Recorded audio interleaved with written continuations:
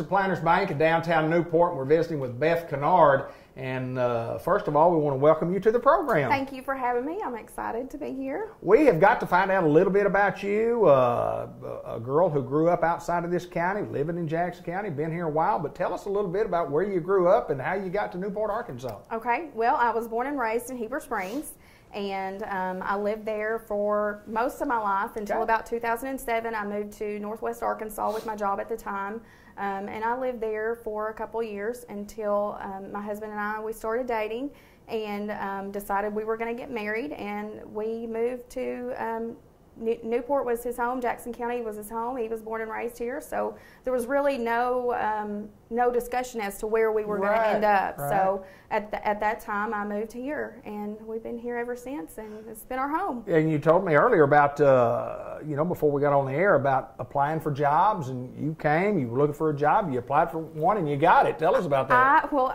I didn't I didn't really know much about Newport at the time, so I you know, we still use phone books at the time. Right.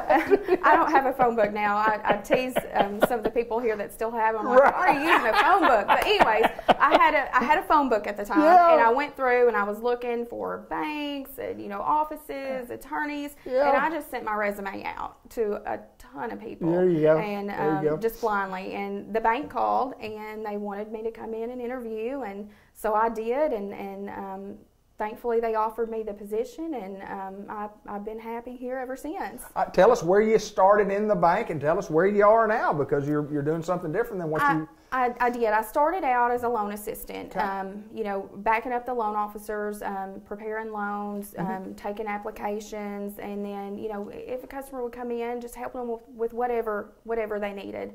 And, uh, you know, I've done that for, for a long time. Sure. And, um, you know, I always wanted to um, you know, my, my idea was to always be a loan officer one yeah, day because um, uh, I just I just love being able to help our people out. Um, that's one thing about being in a community bank.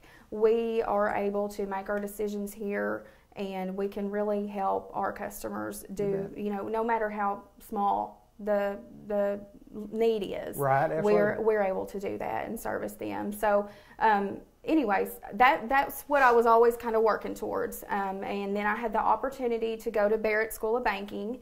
Um, went there. It was a three-year program. Graduated wow. last year, so I was really excited about that. Thank you. And then early this year, um, I was promoted to a loan officer. Well, and you worked along in the loan process, so you knew all the process, but there's a little different side of it of being there and actually, uh, you know, lending the money. But I know you're doing a great job, and, and uh, uh, excited about the opportunity that it brings. When we walked in the door, I noticed uh, we're doing some different things up front. If, if, you folks haven't been to the bank recently, we've made some changes. We have some upgrades. Tell us about what's going on up front. Well, uh, first and foremost, it was time for a facelift. Yeah. Um, we needed some updating. Um, but you know, also in that there was a need. You know, the bank's been growing, things are expanding. Um, we have more people. There was a need to restructure the lobby out there, and so what we've done is we've um, put in offices. So everybody will have their own office, and the customers can come in there, give them a little bit more privacy. Um, so we're we're really excited about that, um, and and we've got to we really need to thank our customers because it has been dusty. It has been dirty. it has been loud at times. Right. It has even been smelly. Um, we've had paint and some glue, and so I mean, it has been um, quite the process. But um, it's it's actually been a lot smoother than what we would have, you know, what I thought it was going to yeah, go. Absolutely. But it, it's winding down, and um, we're excited, and I, I, think our customers are excited. I think they're going to love love the new the new look. Yeah, it looks good. I got to ask you this, and and. Uh, uh, Beth, what, what, as far as outside the banking world, what are some of your interests? What are some of the things you do? What do you like? What do y'all do as a family? Well, uh, we have three children. My okay. oldest, my daughter um, Erica, she attends UACCB and she's a pharmacy tech. And then oh, we have a, a, 10th grader, um, Aiden, at Tuckerman, and he's a baseball player. He's the catcher for Tuckerman Bulldogs. And then we have a fifth grader, Riley, um, who is an aspiring artist. Really? So um, when we're not here, um, right now baseball season is starting off, yeah. it's kicking off. Um, we're at baseball games. We love to watch baseball games. I don't know what we're going to do with ourselves when Aiden graduates, and I just hope he plays college college ball. But um, when we're not there, you know, we try to get to the lake. Um, we try to go to Heber, see my parents, um, go out on the lake, go out mm-hmm. on the mm-hmm. river, um, pull the kids around on the tube. I don't tube anymore. Derek's main goal is to knock people off the tube, and and um, I let him pull me one time, and uh, one I, was enough. Nope, I've retired. Yes, I don't blame you. I don't so, blame you. Um, we do that, and we love to fish. Um, it's so funny when we moved here, um, growing up in, in where I did, you know, we didn't have ditches. Right. And yeah. when I when I moved here, I would see people standing on the side of the road with these fishing poles, and I said, Derek, what are these people? What are they doing? And he said, they're fishing.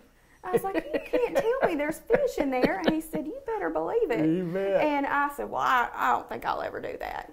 Well, I eat those words. I've, I've been known to, to fish in a ditch or two now. So and and catch fish. Fishing is fun. I love to fishing fish. I do. It's a little bit different fishing in the ditch than it's fishing at Heber Springs on Greers Ferry Lake. It's a lot different. My dad my dad did tour fishing. He was a, t- a fishing guide. Really? So he did yeah. guided tours, and so I, I mean I grew up fishing. I was like, you can't you can't tell me that there's fish in these ditches, and they sure are. There are big ones. Yes. So.